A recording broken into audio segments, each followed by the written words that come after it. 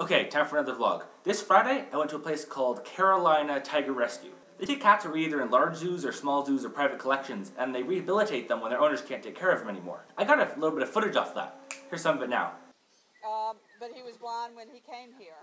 He came from this this place. It was really fun. I think the my favorite part about it was uh, listening to the story of the tigers and how they got to the zoo. Oftentimes, the owners bought them as little cubs, expecting them to stay that small for forever, and then once they grew up, they just left them. Which, besides being irresponsible, is just really sad. There was lions, uh, white tigers, orange tigers. I didn't know this, but white tigers are actually the same thing as orange tigers, but there's a gene that goes all spooky and makes them all white.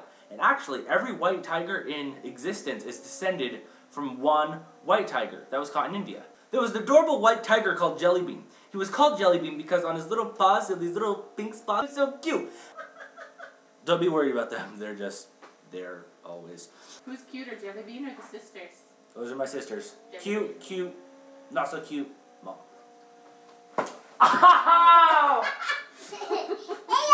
You deserve that. You whispering, you're ruining the tape!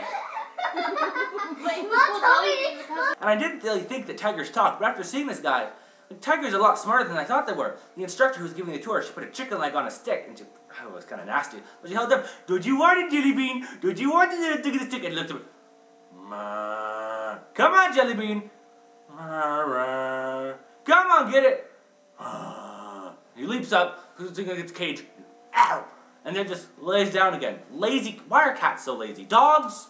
Dogs are smart. It's cats. Oh, the noise and look at. Okay, get your cameras ready. Wait, wait, wait. Oh my goodness. Come on. Oh. Uh, Holy crap. oh, he's beautiful. Look at the paws on that one. What are they things called? Bongarongs? Binturongs. There was this adorable thing called a binturong, which looked like a koala, but apparently it's related to a cat. But it looks like a dog, and had these little whiskers, and it looked like a grandparent. I thought it looked like a raccoon. They think it looks like a raccoon. They're, they why are you, they, they, they, they don't belong here. I apologize. Also, I built a small little sonic screwdriver prop, which I'm quite proud of. It's made out of some pens and duct tape and stuff, but I think it's actually pretty close to the movie. My white balance is so funky for some reason. It's like it's glowing. But, yeah, that's a good representation of it. Vote Adrian for next Doctor. My uh, friend got some other footage of it uh, off his iPhone, so there's some of that. Uh, that extra padding to some degree.